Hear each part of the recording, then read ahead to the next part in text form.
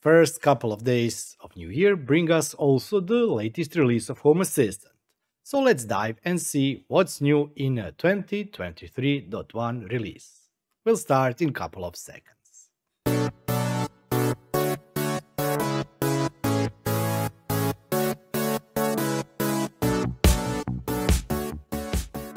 Don't forget that as a tradition now, with each release of Home Assistant, there is also Home Assistant release party. This one will be streamed on 4th of January at 12 PDT or 29 Central European Time. And before we dive into what's new, let's also look at something that was released at the end of December as a newsletter and information on the website from Home Assistant crew. It has been announced that 2023 will be the year of the voice and this is where you can come and help. Because Home Assistant is trying to get as many languages supported as it can. If you still haven't read, read the announcement blog. It's not that long and it will give you some information around the Year of the Voice. But that's not where you can help. If you click on this link here, you will be directed to the GitHub repository and this GitHub repository is a place where you can help translate the English language text or intents into your local language. This GitHub repository will be improved and some more tools will be introduced to speed some of the process. But there are a couple of ways on how you can help. First of all, if you know how to use GitHub, you can try and make a pull request. If you don't know how to use GitHub, you can use this issue of your language go to Issues, find the language that you want to help with, for example, Slovak language, and then paste here the translations of the code. And now let's get back to what's new. Actually, the first item that I want to mention here is aliases for voice assistants. If you didn't know, you can add aliases, or at least you could add aliases previously in the YAML files for devices. Now you can do that through the UI. And what it allows you, it allows you to name devices based on couple of nicknames. For example, these lights here are Elgato lights, but I could also call them streaming lights or recording lights, etc. And if I add aliases to these lights and add recording and streaming as a name of the light, then I can use that same nickname or alias for these lights here to turn them on and off. Previously, this was done in YAML files. Now you can do this through the UI.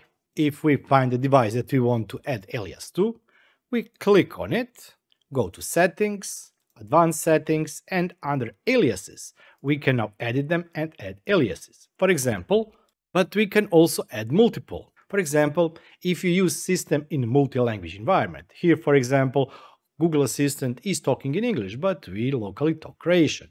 I could, for example, add Croatian words for that, and later on, that name will be used by Home Assistant when time comes. If you have previously used aliases in the YAML files, they will be visible through the UI, but they will not be merged. So I recommend that you slowly start retyping all of the aliases in your system from the YAML to the UI. There was also update to the matter, but actually there was also one emergency release of the Home Assistant 2022.12, I think .9, to fix issues that were brought up by beta of this release here. But let's not talk about that, let's talk about new things. In December, the new version, Android app version of Home Assistant companion app was released, and that release allows us to commission or onboard devices. Now the commissioning was also brought in as a functionality. Remember, this is still early beta, so be careful what you do. 2022.12 release or December release of Home Assistant brought us local calendars. And this release now enables us to edit events. yes, that functionality was missing previously.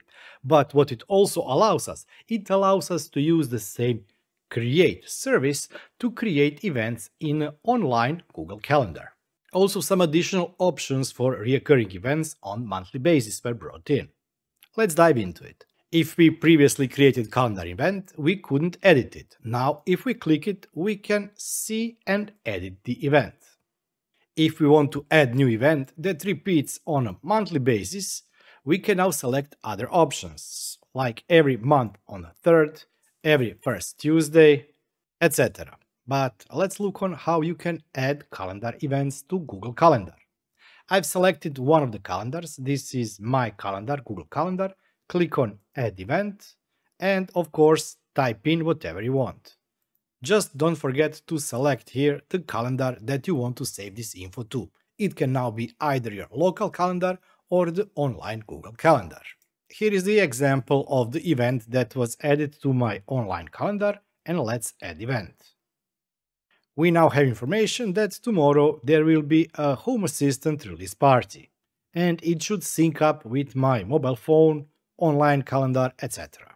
Translation and automation editor improvement may not at first look like a big change, and you cannot simply go and use it in your automations. Actually, you can, but only if the sensors now add additional information. Let me quickly explain what this really is. This one here is a Tado air conditioning control. And it has couple of from or two states. It can be off, auto, heat cool, heat and cool, dry, fan only, unavailable or unknown. But if you bring new sensors that have some specific states, not everything can be properly imported in Home Assistant. And the second problem is translations. If the Home Assistant doesn't know that a specific state exists, they cannot work on translation for that specific state. With introduction of these improvements, more states can be predefined or sensors can push predefined states of themselves. So even if Home Assistant doesn't know that a specific state does exist, sensor can tell, hey listen, I can also boogie or whatever, and it will be available in the drop-down list. Let's now browse through some of the other noteworthy changes, and there are really awesome gems here. I like a couple of them and we still haven't seen the best because I'm saving that one for the last. Shelly integration now supports Shelly Plus Wall Dimmer US, thanks to the code. And by the way, let me just clear something up because there may have been confusion. Shelly Plus devices. Those devices can be used as a Bluetooth proxies, but only as a passive Bluetooth proxies. If a device requires for pairing active connections, it may not require active connection down the road.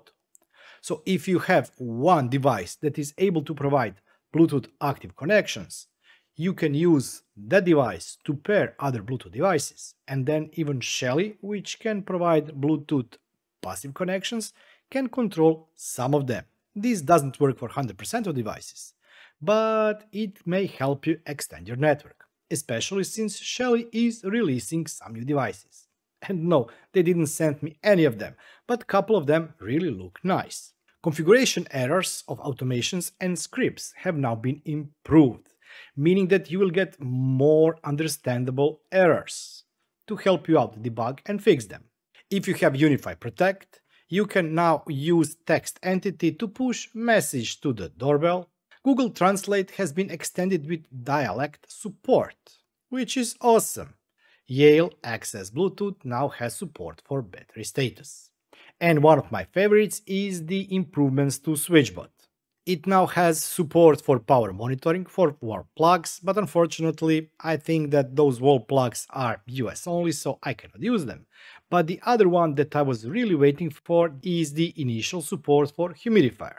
A year or so ago I recorded video on how you can add the SwitchBot humidifier to Home Assistant if you are using their API and pulling JSON files or exchanging data between the cloud. And it's still working. But now we can use the SwitchBot integration inside Home Assistant. It doesn't have all the features, bells and whistles of the JSON version so far, but it will be improved in the future. If we go to Settings, Integrations, you may see already this device recognized. Let me press configure. And we can now toggle the power on or off. As I said, in future I hope we will have a better support and also support some other functionalities such as the speed, if there is water on or not, etc. But while we are already on that topic, and this is something that is not listed here in documentation, but should be added soon. Yes, because as always, I'm recording this video on the beta version. This is beta 5 of Home Assistant 2023.1.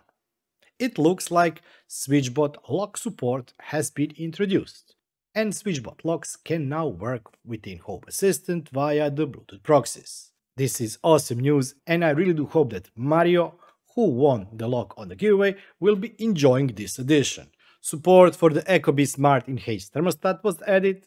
If you are using KNX, you now have option to limit the bus load. Air Visual Pro has been added, Purple Air has been added, and Reolink has been added. Actually, some would say that there was already a bit of drama during the beta with this one. It didn't go as planned, but if everything goes well, we still should have a Reolink integration inside Home Assistant. And it should work with both cameras and NVRs. And it should be local integration. I'm still using the HACS integration and I have yet to move to this one here. But the last one which I left here is Google Assistant SDK. A couple of years ago, I think it was 2020 or 2019, I said in my last video of that year that I will be using Google Relay. Google Relay was an add-on for Home Assistant that at the time was supported. Now, as far as I know, the author has dropped it officially and nobody has taken over the development and maintenance of it. But what it would allow you, it would allow you to use functionalities such as broadcast, use commands from Google Assistant from within Home Assistant. Yeah, that didn't work or didn't go as planned. It did work nicely sometimes. Then I found a script, which I now use, it's called Google Resume. And I use it because my wife hates when she's listening to podcast or something similar, and I push text-to-speech notification, and it stops that podcast and never resumes. So that's why I implemented that Google script that allows me to resume whatever was playing on the Google devices. This one here should be official replacement for the Google Relay. It will allow you to push both broadcast messages, but also to push commands. So let's see what you need to do to install it in Home Assistant. As it says, this integration allows to send text commands to Google Assistant and also broadcast messages without interrupting music or video playback. You need to configure developer credentials for Home Assistant and they're the same credentials as the ones for Nest or Google Sheets.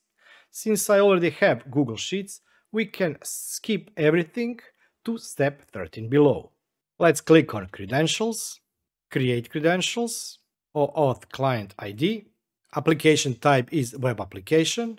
Let's name it Home Assistant Credentials. I will add SDK so that I know what this is. In the next step, you have to copy this URL, add paste it here, and click on Create. You will be presented with your client ID, client secret. I will download this also as a JSON. If you didn't copy them, you can click and copy them from here. Let's also double check that Google Assistant API has been enabled. I know that it is, but let's go to library, Google Assistant API, and we can see that it has been enabled. And in Home Assistant, click on Add Integration, Google, Google Assistant SDK, fill in all the data, including the name, which is Google S SDK, client ID and client secret, and click on Add. New window will pop up, select your account, continue, and make sure that this URL is correct. If it's correct, just click on Link Account. If everything was done correctly, you will see Success, successfully authenticated, created configuration for Google Assistant SDK. Finish. The question is now what you can do with it. While you can use this in automation also, let me show you via the developer tools services how you can use it. If you want, you can send commands. And sending commands means that you order Google Assistant to do something. For example, you say, turn the living room lights on, and it would turn the living room lights on. Or you can send a broadcast message time for lunch to specific areas, Luca room and Zita room. If you need example YAML code for your automations, click on go to YAML code and you can copy the code from here. And this is really awesome because it can help you with text-to-speech messages and remember that this year will be the year of voice. So the better we get prepared now with this Google Assistant SDK integration, with the help of adding aliases to our devices and of course by helping the community with translation of intents to your local language, the better the year will be. Don't expect miracles in first couple of months, but at the end of the year we hope to have really awesome local voice assistant in Home Assistant. Developers said, unfortunately, this is very small release. I don't see anything small in this release. It was once again really, really awesome. And by the way, when we are already here, I really would like to thank everybody who has joined the YouTube channel and has become YouTube channel member. Thank you all for all of your support. And also thanks to each and every one of you who has watched, liked or subscribed to my channel. If you too want to support the channel, you can do so by clicking the join button down below and for 2 euros or $2 per month you can become YouTube channel member. Or once again, go to the link down below to the merchandise store and buy something there. I will be seeing you next time. Until then, bye bye and have